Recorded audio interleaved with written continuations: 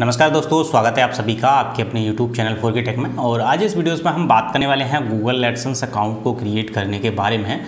जैसा कि आपको पता होगा कि गूगल एडसन्स अकाउंट को क्रिएट करते समय हमें कुछ सावधानियाँ बरतनी चाहिए, जो कि हमें काफ़ी हेल्पफुल हो सकती हैं। तो आज इस वीडियोज़ में हम जानेंगे कि किस प्रकार से गूगल एडसन्स अकाउंट को क्रिएट कर सकते हैं और क्या वो सावधानियाँ हैं जो हमें बरतनी चाहिए। तो वीडियो पसंद आए तो लाइक शेयर कमेंट ज़रूर करना। साथ ही साथ हमारे यूट्यूब चैनल को सब्सक्राइब भी कर लेना, क्योंकि मैं आपको इसी प्रकार की काफ़ी इंटरेस्टिंग टेक वीडियोस लाता रहता हूँ। तो चलिए मैं आपको दिखाता हूँ कि हम किस प्रकार से अपने गूगल एडसेंस अकाउंट को क्रिएट कर सकते हैं। तो अभी आप देख पा रहे होंगे कि मैं अपने लैपटॉप की स्क्रीन पर आ चुका हूँ और यहाँ आपको दो टैब ओपन दिखाई दे रही हैं। एक है गूगल एडसेंस का होम पेज और दूसरा है एक यूट्यूब चैनल जो कि मेरा खुद का ही है, जो कि मैंने डेमो पर्पज़ के लिए बना रखा है। अब यहाँ पर आपको यूट्यूब चैनल मैंने क्यों ओपन कर रखा है, वो सारी चीज़ें मैं बताऊँगा। क्योंकि आप गूगल एडसेंस अकाउंट के होम पेज से अपना जो यूट्यूब चैनल का URL है, उसे देकर गूगल एडसेंस अकाउंट नहीं बना सकते।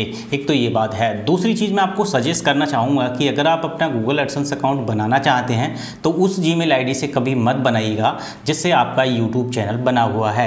इससे इन फ्यूचर अगर कभी भी आपके किसी एक जीमेल अकाउंट में प्रॉब्लम्स आती है तो आपका एक जीमेल अकाउंट का जो अकाउंट है, वो सेफली बचा रहेगा। जैसे कि आपको पता है, अभी हैकिंग का बहुत ज़्यादा प्रोसेस जो है, वो एक्टिवेट है तो कई लोगों के चैनल्स वगैरह हैक हो जाते हैं। तो वहाँ पर आपका एक अकाउंट सेफ़ रहेगा। अगर आप जो है दो अलग अलग जीमेल आईडी से अपने दोनों अकाउंट्स बनाते हैं तो। तो चलिए मैं आपको स्टार्ट करके शुरू बताता हूँ कि कैसे करते हैं। तो फ़र्स्ट फ़र्स्ट आपको करना है शुरू पर क्लिक जब आप एक नया एडसेंस अकाउंट क्रिएट करना चाहते हैं, तब। तो यहाँ पर हमने क्लिक कर दिया है और अभी मेरा थोड़ा कनेक्शन स्लो है तो इसलिए खुलने में थोड़ा टाइम लगा सकता है और बाकी काम हम अभी चलते चलते करते हैं। दोस्तों, जैसे ही ये खुलता है, आपसे आपके गूगल अकाउंट्स को मांगा जाएगा, जिस भी आप गूगल अकाउंट से अपना गूगल एडसेंस अकाउंट बनाना चाहते हैं। तो यहाँ पर मैं अपने एक जीमेल आईडी से लॉगिन करना चाहूँगा। तो यहाँ पर मैंने पहले किसी जीमेल आईडी से लॉगिन नहीं किया था तो मैं अभी यहाँ पर लॉगिन करता हूँ और उसके बाद हम चलते हैं। तो देखिए, आपको कुछ इस प्रकार का इंटरफेस यहाँ पर देखने को मिलेगा और सबसे पहले आपकी जो वेबसाइट है, वो आपसे मांगी जाएगी। और अभी आपको एक नीचे ऑप्शन दिख रहा होगा कि अभी मेरे पास वेबसाइट नहीं है। तो चलिए, पहले मैं आपको यूट्यूब चैनल का यू डाल के दिखा देता हूँ। किस प्रकार से प्रॉब्लम्स आपको क्रिएट होती हैं। तो देखिए, यहाँ पर मैंने यूट्यूब चैनल का यूआरएल डाल दिया है और यहाँ पर मैं चाहूँगा कि मुझे गूगल एडसेंस जो है, वो सजेस्ट करे कि किस प्रकार से मुझे एडिट करना है। और अभी हम चलते हैं अपनी कंट्री के ऊपर। तो मुझे भारत सेलेक्ट करना है। तो आप यहाँ पर देख सकते हैं, मैं अभी यहाँ पर भारत सेलेक्ट करता हूँ। तो अभी हम चलते हैं और नीचे, क्योंकि नीचे ही हमें भारत मिलेगा। तो ये हमें मिल चुका है। यहाँ पर हमने भारत सेलेक्ट किया। बाकी आप इन कंडीशंस को पढ़ सकते हैं। और चाहें तो आप इसे स्क्रॉल डाउन करके पढ़ सकते हैं। वैसे इन्हें पढ़ता कोई नहीं है, ये आप जानते हैं। उसके बाद मैं कानूनी समझौते को पढ़ लिया है, या ऐसी ये शर्त है, उसको स्वीकार कीजिएगा और एडसन्स का इस्तेमाल शुरू करने पर क्लिक कीजिएगा। लेकिन जैसे ही मैं क्लिक करता हूँ, ये जो है अगले पेज पर नहीं जाएगा, यहाँ के यहीं रह जाएगा। तो देखिएगा आप। तो देखिए रह चुका है। अब ये क्यों रह गया है? अभी आपको यहाँ देखिए, पता चल जाएगा। यहाँ, आप यहाँ YouTube के लिए एडसेंस खाता नहीं बना सकते। एडसेंस खाता बनाने के लिए YouTube स्टूडियो पर जाएँ। तो मतलब YouTube के लिए आप यहाँ से खाता नहीं बना सकते। तो अगर आपकी एक वेबसाइट है, तब आप यहाँ पर अपना एडसेंस अकाउंट बना सकते हैं, या आपका कोई ब्लॉग है तो उसके लिए गूगल एडसेंस अकाउंट बना सकते हैं। तो अभी मेरे पास कोई वेबसाइट नहीं है तो मैं यहाँ पर क्लिक करता हूँ और उसके बाद अपना आगे का प्रोसेस स्टार्ट करता हूँ। तो यहाँ पर मैंने अभी मेरे पास वेबसाइट क्लिक नहीं है करके, अब मैं इस पर क्लिक करता हूँ एडसेंस का इस्तेमाल करने के लिए।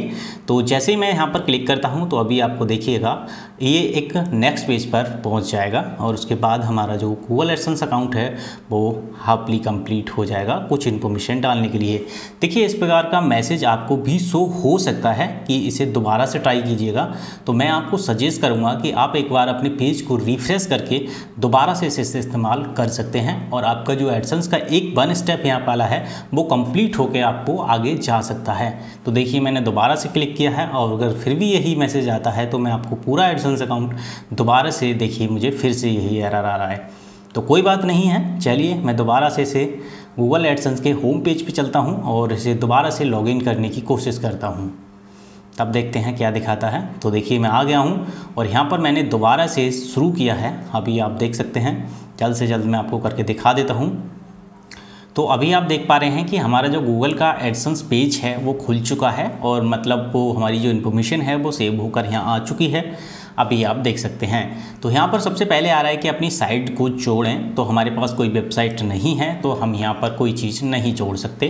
तो चलिए मैं आपको और, अगर आपके पास कोई वेबसाइट है तो यहाँ पर आप बस क्लिक कीजिएगा इस तरह से और अपनी वेबसाइट का यू आर यहाँ पर देखकर बस सेव कर दीजिएगा। आपकी वेबसाइट जो है, वो ऑटोमेटिक सेव हो जाएगी। इसे मैं रद्द कर देता हूँ। यहाँ पर कुछ जानकारियाँ हैं जो कि आपके साथ शेयर करना बहुत ज़रूरी है और यही वो मेन जानकारी है जो कि आपको गूगल एडसेंस अकाउंट बनाते समय विशेषकर ध्यान रखनी है। तो चलिए मैं इस पर क्लिक करता हूँ। तो जैसा कि आप देख पा रहे हैं, यहाँ पर हमारा जो पेज है, वो ओपन हो चुका है और यहाँ पर ग्राहक के बारे में जानकारी के लिए मांगी जा रही है।